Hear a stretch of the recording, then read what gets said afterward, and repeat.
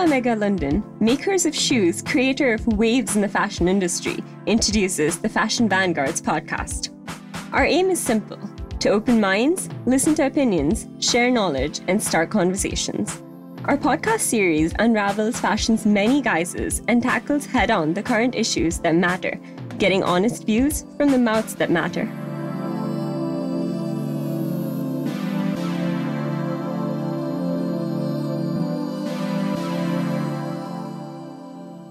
We at Fashion Vanguards believe it is time to stop talking and make change. The labeling of mental disorders or mental illnesses carries social stigma and negative connotations which prevent us from tackling the issue. In this series, we address the growing concerns of more and more people who are suffering or have recovered from mental ill health within the fashion industry and the creative sector as a whole. Thanks for tuning in. This episode, hosted by the lovely Tamara, serves up a more intimate and candid perspective on the topic. Stay tuned for more edifying discussion and to learn from her eclectic mix of panel speakers. Joining the panel, we have myself, your host, Tamira. I'm a digital content assistant for Primark, a theatre reviewer, and a youth mentor. Mira, the founder of Hidden Voices and a journalist for PrivSec. I'm Sinead, and I am the anti coach. I'm Kim Noble. I'm an artist, mother, author, and I happen to have DID. And I'm Bobby, Bulgarian designer, dressmaker, and I'm a founder of Common Ground. Welcome to episode four of the Fashion Vanguard's mental health series. The previous episode examined the harmful effects of the creative sector on mental health. In this episode, we take more of a wider view by examining social constructs and their effects on the creative mind.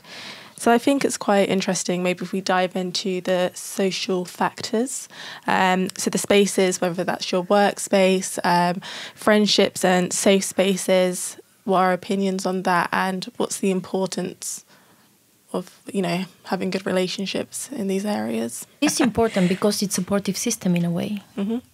So it is very important to have the right people around you, especially living in 2019 there is no real connections, no real friendship. I know everyone are tired of the statement haters gonna hate, everyone just this and that, but it is very hard to build genuine relationships.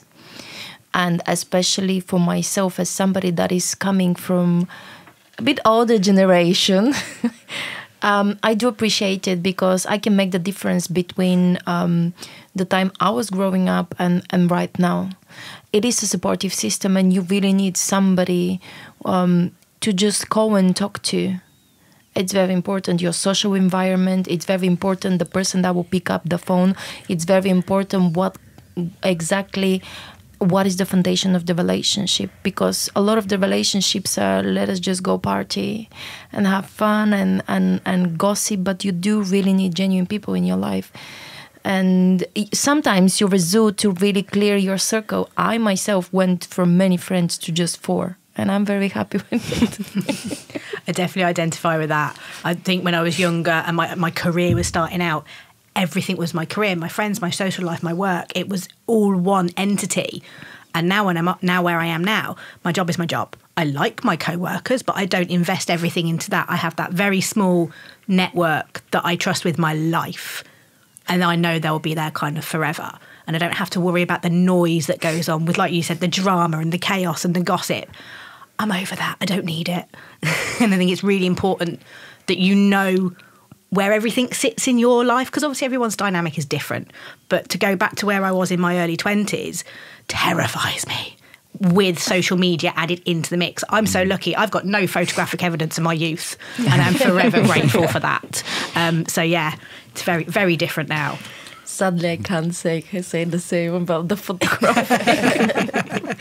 but yes, it's it's very it can be very draining because we are dealing with a lot of energy vampiring if I have to be honest. Because most of the time, instead of receiving the support that you need, people will constantly just call and connect because they need something from you. It doesn't have to be material, but to actually have a relationship with a London busy lifestyle, it's very draining. definitely. And it's quite interesting how you can be surrounded by people, but you can still feel very isolated. Yeah. You know, social isolation is a very real thing. And maybe people don't talk about that enough because everyone wants to be seen as, you know, someone with friends, you know, the popular person in whatever context that means to you. Um, but you can feel isolated in a room full of people. Just kind of counting down when it was okay to shimmy out the door. You've done your bit. You can you can leave now. Yeah. I've like I felt that before. Uh, you know, I've been in a room where I've been with tons and tons of people, and I'm supposed to have fun, but in my head I'm thinking I want to get the hell out of it. I'm thinking, for once I feel very lonely, and if it's a weird feeling because it's like I'm surrounded by people, I should be talking to these people, but it's happened to me like twice, and what I chose to do is I just left because I know that it wasn't going to do me any. Uh, it was just bothering me more, and I was getting more like, getting more annoyed. I was getting more like flustered. I was thinking, oh god, like I, I'm not having fun. I want to leave. Everyone's making me feel even more uncomfortable because I'm just I'm not like comfortable. And yeah, it's social isolation is big thing, and people But don't really if you're about it. unhappy within yourself, there is no amount of people that can make you mm. feel good. Hmm. Yeah, very true. That's definitely true. I think being an artist it's it's very lonely anyway. So you you know you have to make a bit more effort hmm. if you want to socialise. You know to go out and you know um, meet people. It's I think it has become, but I think these days people do it via the internet, and then you don't get that true picture of a person because you don't see their body language. You know that you you've got, haven't got that eye contact, and I think that also helps you feel a bit more comfortable and trust a person a lot more than what you're thinking. You can trust somebody on the internet when you can't because you can't really see them. Mm, Other than FaceTime, and I think that's where FaceTime has actually got some use as you know with the contact. Yeah, definitely. So, kind of picking up on your point from FaceTime and the internet, what are the other advancements of technology and how has that impacted, shaped our modern society and our mental health? Well, we share quickly. For me personally, the first thing that came to mind was gaming. Um, I had a period in which my son was literally addicted to the game he was playing to a point of stealing money so he can supply his need for the game. It's literally the same thing as you will go and steal money to supply your need for drugs. God forbid. But it's, it was very hard time because he was getting aggressive, he was getting irritable, he would not communicate. All he wants to do is to be on the game. So we end up um, having a conversation. Obviously, I will force him. He was still at an age where I could get my way. He wasn't that young, but I could still get my way about around his 16s. around his 16s. But my point is, he'll just be miserable on the sofa, mm. depressed. And I'll talk to him and we will talk. And he will sincerely tell me, I don't want to live in this world. The game is my world. So for me, gaming is a big problem. Now, obviously, we have men that likes to do it from time to time but i personally believe that for younger generations if it without control and without supervision for example let it be an hour and a half a day or some pattern to it it can become a problem it becomes their reality I think um, with gaming, especially with a lot of younger kids, um, it's just it's an escape from reality. You can pretend to be someone you want. You can be this character that gets to kill all these people and save the planet, or I don't know what it is what they play, but um, and it's quite sad that they feel like they have to escape reality. Um, my brother's a gamer. He's not addicted to gaming, but I do know that I think he does gaming a bit more because he's not necessarily a sociable person. He's not. He's probably the opposite of me. I love him to bits. He's not weird or nothing like nothing like that. Or okay, not that's not weird as being nothing, but you know what I'm trying to say. Like he's very keeps himself. But I know that he's his true self when he's online, and we do mm. encourage it. because, you know, he brings out his personality more. But then it's it's it's just really confusing to me how like he doesn't want to do this in real life and maybe that's where my fault is where i'm not trying to understand what exactly it is that's making him really want to play the game and i'm i thank god that he's not addicted and he knows like he needs to study he needs to focus because you know he's a university student but um that's what it is. I think it's escape from reality. You can do what you want. You can pretend to be someone, and I think that's with everything on the internet. Really, with you know social media, um, you know when you're online talking to people, you can pretend to be someone else and put out this character that you're not, uh, which in a way does help people, but also in another way really does have a negative impact. Yeah, I think for me in the job that I do, um, so by day, apprenticeship assessor, by night, the anti coach. Um, but the technology has allowed us to, so when people are not having like a great mental health day, they can say, do you know what? I can't do face to face today, but actually, can you just send me some work via email? We use a e learning platform, so they don't have to have that human interaction if they don't want it. Um, so it kind of gives you, you know, I can phone my boss up and say, I'm working from home today. I don't need the noise of the office. I don't need to be surrounded by people because actually I'll get nothing done.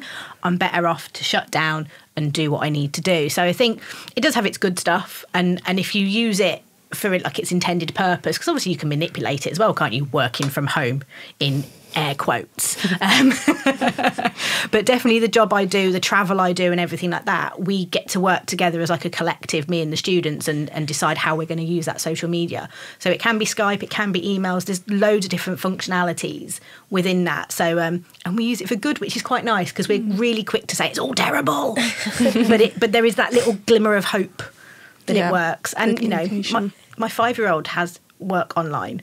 So it's go. It's not going anywhere. It's here to stay. Yes, it's not all that bad, but there have to be a balance. And what we observe, the the majority, it's it's just above and beyond.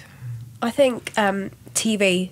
It's been for a long time, but I think what's shown on TV has a big impact on mental health, um, especially with Love Island. I'm going to say that it's coming out in a couple of days.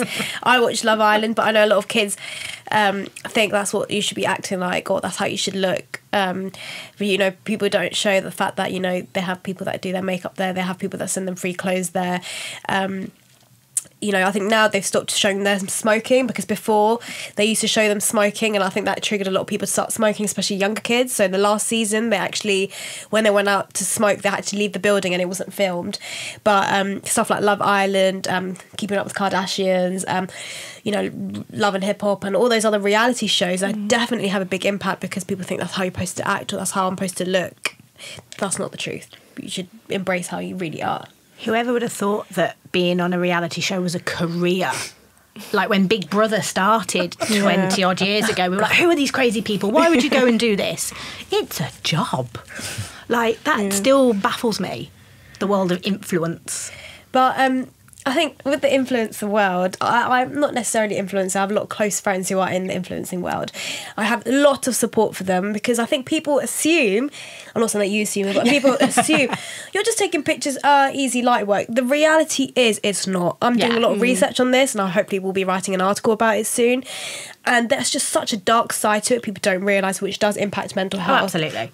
my friend has to take time off social media. She has thousands and hundreds and thousands of followers, and she knows herself she has to take time off because it gets to the point where it's not necessarily the comments that are mean or nothing like that, but you know, brands are constantly sending her stuff, and she doesn't have time because she also needs to work a full time job, and it's she's working in between. And then people have this image where you know you have to look nice all the time, but the reality is she's comfy. She likes living comfy, and you know stuff like influencing, and you know that's a big impact. People always Yeah. have a negative. Oh, you're you're just that's a career. It's not, it's not really a career, isn't it? You're not like a doctor or something, but it, it is a career. Yeah.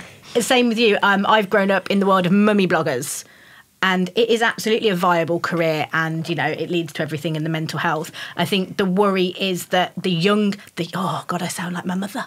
Um, the younger generation haven't got that distinguish between it yet, I guess, and they don't understand the behind the scenes stuff because again, they would see the shiny behind the scenes Yeah. of the photo shoot and the, not the hours of pitching and the hours of rejection and and all the other things that come with it. So it's not found that balance yet. I don't think. I think because it's such a new, it's not a phenomenon. I don't think. I think it's here to stay. But yeah, there's still It's a new thing that's come up. yeah. So we, that no one's found the, the balance yet and the understanding of of the reality behind that. They still all think we can be a Kim Kardashian. Heaven forbid.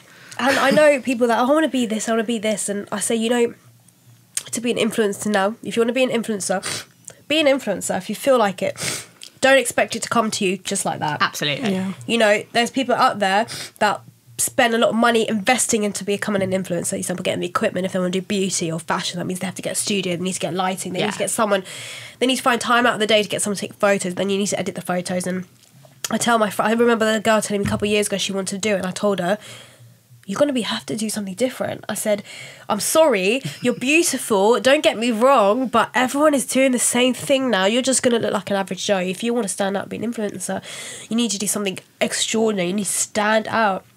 And I think I told her, and then when she started really trying to get into it, she's like, Mira, you're right. Like, thanks for the support. And I think I needed that because people just assume it's just a quick and easy Yeah. thing to Yeah. do.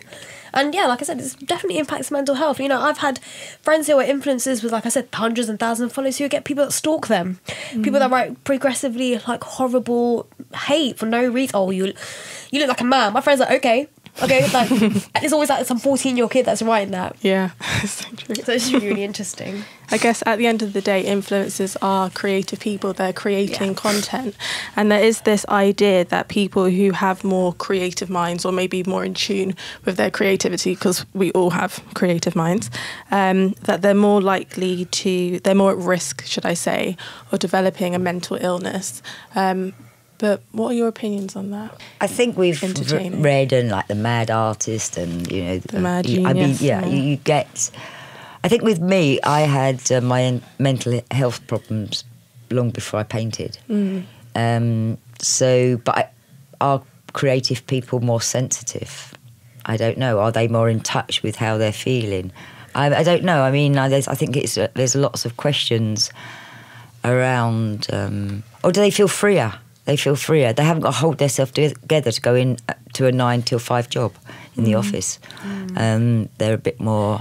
Um, I think like there's this idea that if you're in the creative industry, whether you're doing music or art or you know you're doing anything, that because you're so expressive of how your emotions are, it means you're sort of more open to. um, Just I don't know if you I, I don't know how to I'm trying to word this in a nicer way like you're more open to just letting your like you're letting your like side out and then I think Your people madness. just, yeah the madness out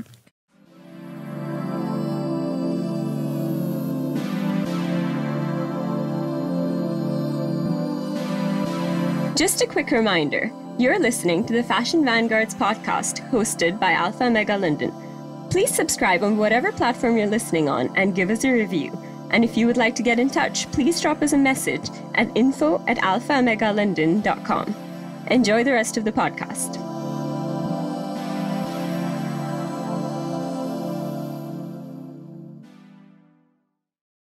so people assume that you know that means you're you know you're that you must be suffering from you know mental health or mm. something. That's not the truth. Like come on. The reality is people just express themselves because they can express themselves and you should be able to express yourself without people saying oh she's a bit you know something definitely wrong with her you know i think that's a lot that's a big um, assumption that's made out there Yeah, I think sometimes, like like with my paintings, um, because I'm an untrained artist, they, they come from my heart. So it's about my life, my experiences, and uh, things like that. So I think when I paint, that comes through. My emotions come through. My experiences come through, and then people can connect without words. They don't have to say, "I'm feeling bad." They can look at that picture and think, "That's how I feel." And I think it.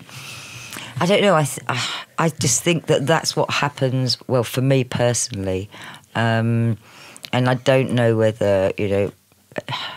My madness does come out in the paintings because I've got DID, different personalities, uh, do different styles. So you know, yes, the madness is there, and people could say it's it's because I'm mad that I can create, or it could be creative people are mad. I don't know which way round it goes. i also think people can't grasp the fact that you can be vulnerable uh, by letting your side out without having an you can let your side out and your your vulnerability out without having an excuse and the excuse being you're suffering from mental disorder and i think that's i think what i think is what a lot of people can't grasp um because a lot of people now in this day and age don't want to show their vulnerabilities it's seen as a weakness really it's a strength that you should be sort of showing to people. And I think that's why there's this notion that people that tend to, you know, you're showing your artwork, people think, oh, you know, they're making an excuse and she's only doing it because you're, you know, Yeah, you've got no- DID. But actually, you're expressing yourself, and it just happens that, you do have DID. It- that's that's right, and I mean, people have said that she's she's um, she's out just to make her paintings more known or more famous or whatever, or get more money. So she puts this story that she's got DID on the end of it, which is is one completely untrue because I had mental health problems long before I started painting. But I think the the other thing that that happens is that people see that when, it was, when I first started to paint, I decided I wasn't going to tell anybody about the mental health, my mental health problems. Then, as an artist, I had to go in and explain about the painting. So a gallery would say to me, "Can you explain?" You know this painting. Well, no, sorry, it wasn't me that done it. It was another personality. So I couldn't get away without, you know, because I wanted to be accepted accepted as an artist, not as somebody with mental health problems. Um, now, I mean, to me, that you know, my painting and my health problems come hand in hand, and you know, it's um, I don't have a problem with it. Other people may have a problem with it, but I, I don't anymore. But there is the other side also of the creative mind, especially when you're a creative person or you are an artist. You're dealing with two um, paradigms that most people don't really pay attention to. On one side, you face a lot of rejection because the way you express yourself is very unique and it won't be understood by everyone. And then there is a lot of misunderstanding. You are literally misunderstood. So mm-hmm. it's a hard life when people don't understand you because you express yourself not just because you want to express yourself but it's also a way of you looking to connect to someone that will understand what you feel that you understand what what this expression is and it can be hard. It it has those two misunderstanding and rejection. So it also really affects your your state of sanity. Yeah, no, I mean, uh, like one of my personalities um, paints paintings of uh, uh, quite can be quite graphic scenes of abuse that like, we've been through, uh, the body's been through, and some people can accept that. Others are actually um, have ne- called us a paedophile. They say that you know you're doing this so that um, other pe- people can get kicks from them, and you know, so we've been attacked when all it is is trying to expose, you know, what goes on actually um, in some people's lives, you know, and, and you know, this day and age we shouldn't be turning our back on abuse, but people still can't face it. Even to be looking at a painting that's not realistic, um, you know, and I get attacked for, you know, allowing the paintings to be done and put on the internet. And yet, if you, you know, a realistic painting, you know, it's not. It's it's bright colours. The personality that does them wants um, everybody to know what can happen, and people should be aware of abuse. But you know, you still get attacked. It's interesting because creat- creativity is ascribed to a divergent cognitive style. So clearly, it's a way how we it's a way how we cope. It's a way how we express happiness, sadness, and things that we may not even be aware of. And quite interestingly, Tishla said um, in relation to the fashion industry, but I think it kind of speaks for the creative industry as a whole, that in this industry, people are encouraged to be flamboyant or eccentric. So there already exists a natural accept- acceptance within the fashion and fashion world, creative world, and embracing mental well-being is the next step. You know, for a group of people who are so flamboyant and so, you know, like this is me, take it or leave it. We need to be encouraging um, mental well-being, talking about it more, talking about the different ways to cope, and not shaming one another, one another's See, work. with the fashion industry, also, um, it has become um, very damaging on artists, on models, on designers, because I personally don't believe that creativity can be defined, boxed up, and explained. For me, creativity should be you expressing yourself Yeah, and being 100%. accepted how you are. What they are doing right now, for you to be creative, you have to creative. You have to look this way, and you have to act this way, and this is what you have to do. And it actually it does not allow you to express yourself, but it tells you how to express yourself, which will I, as a creative, as an artist myself, the hardest times in my life was when I was not able to express my creativity because it's part of me. And each person have creativity. We express ourselves differently. Some people are creative with numbers. Some people are creative with um, business. Some people are creative. We are creative, all of us. I believe, and I believe that we should all be able to create to be creative without having to meet a certain standard. Because how can you tell me me how to express myself when you have not had my experiences, have not had my my life, have not had like my my mindset, my vision. It's a vision. We have fashion universities where they are teaching young designers vision, and um, because I worked a lot of them, I mentored a lot of them. I had them to come and try for them to complete their their, for example, exams. They'll go and pay people like myself to help them, and I'll sit them down and we will talk, and I, I will tell them quite frankly, nobody can teach you vision. It's your vision. That's why mm. you're a designer, and the fashion industry have become uh, it's it's a slaughter of creativity, mm. absolute slaughter. But the art world's like that as well. I mean, I'm Yeah. classed as an outsider because I'm untrained. I haven't got, you know, I didn't go to university. But I'm mm. not. i'm you know, for me, I didn't realise there was these boxes. Yep. You know, when I started painting, I just thought some people like them, some people won't. Then it is, well, you know, then I read something somebody had written about me, and I was an outside artist, and I had to go and look up what's an outside artist. You know, it's an untrained artist. It's very sad because I come from a country with this mindset and I am a person that have dreams. I'm a very dreamy person. I'm, I like inspiration and I like to think big and I like to think that everything is possible. And where I was coming from, like I was always taught that um, I'm not an artist, I'm not a singer, I'm not a designer, and I was. And when I came here, it was it was really hard to break out of the box until I started observing other people. And I don't believe that art should be defined based on university's experience. It's your expression. If I want to dance and the only move I can do is this, I'm dancing. Just let me be. I'm expressing myself. I'm a dancer. They say you've got mental health problems. um, one thing I've noticed is like in within the creative industry, both fashion or you know whatever industry is in the creative industry, that it's like if you're like the one that's out there, it has to be a certain type of out there, and it's like if you're out there but you're not this, oh that's you know, then it's just like mm, especially with the influencer world, um, or even when I've seen as an Asian, I've seen other Asian girls out there that you know they want all this diversity and you know they want all these beautiful brown girls out there. You know they want all this, and then they're still not representing. Actually, you know they've just put in a girl that's in the box, Don't and get that, me started. and, it, and it's like that's what they're supposed to look like. And I'm thinking, well, like I, I, I know that I'm out there, but you're not selecting me because I don't look how you want me to look, or and um, and even with like all my fashion is, you know, it's, it's I'm thinking, wow, you want me to be, you want to get more diverse people, but you're still selecting people that aren't as, you know, how you want them to be, rather than actually getting really diverse extrovert people out there. And it's just something that I'm. I just drink my tea in peace. I'm just thinking this is. Uh, Yeah, I really feel that we should be teaching our young people, no matter where they are, are they in fashion? Do they want to be accounting? Identity.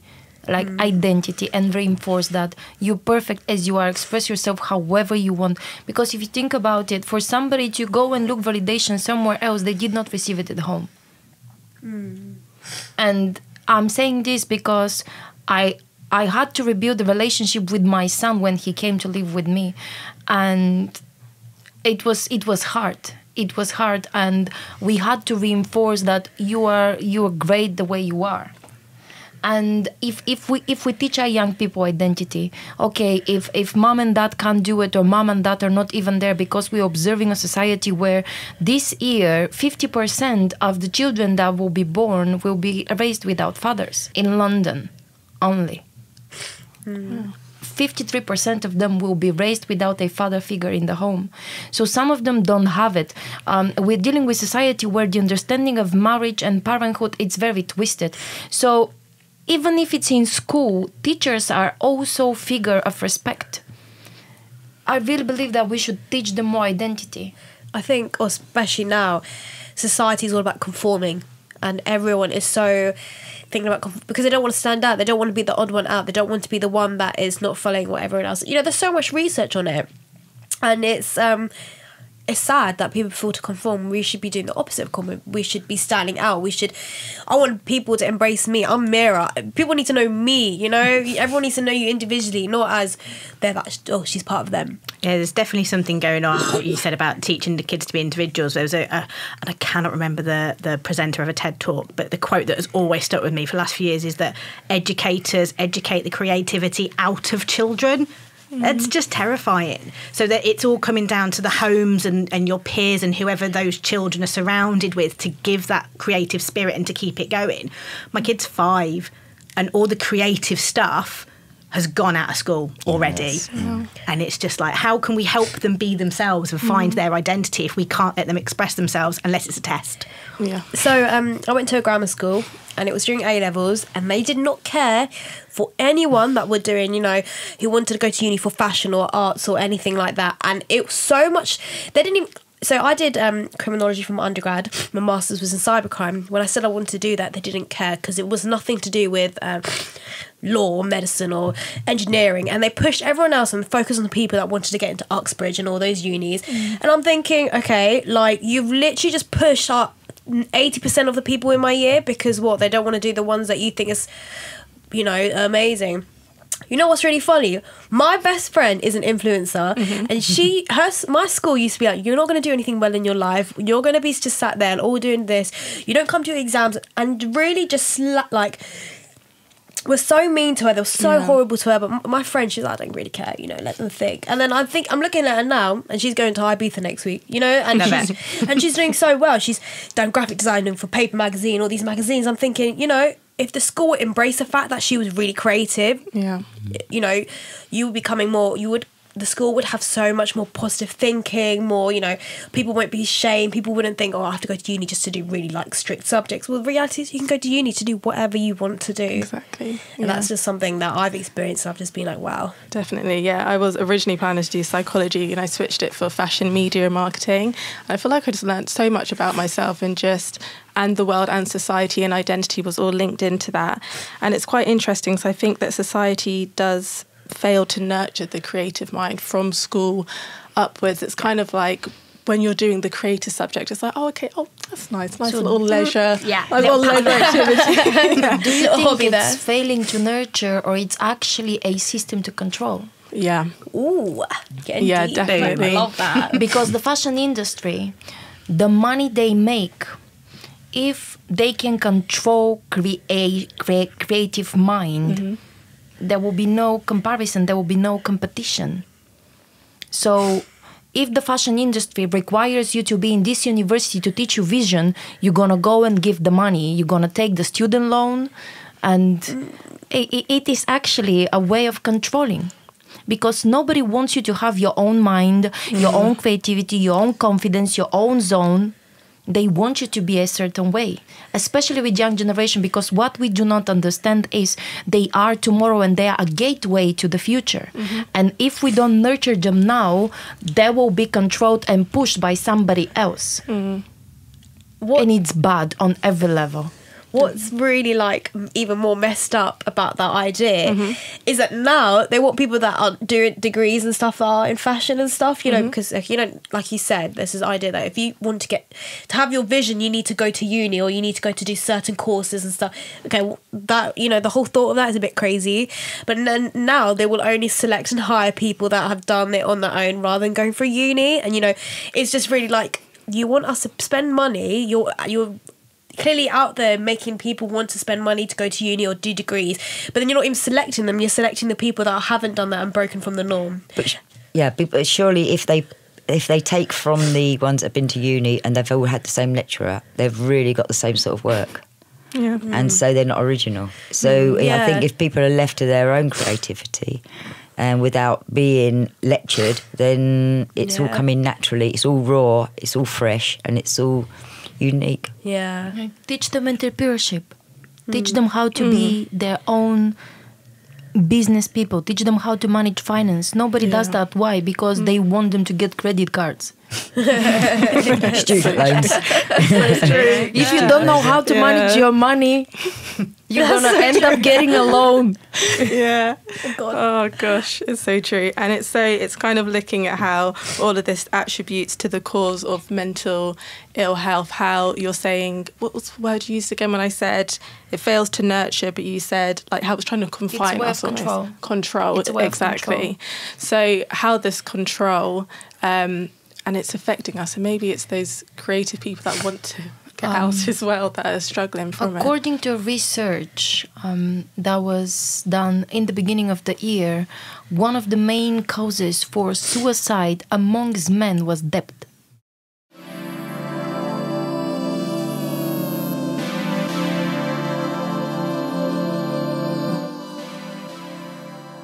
To conclude, we've identified the external social pressures such as technological advancements and how it impacts mental health.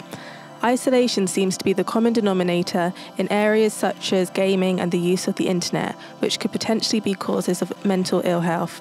Furthermore, we disproved the concept that creative minds are more at risk of developing mental illness by looking at society's need to control and conform the individual and group.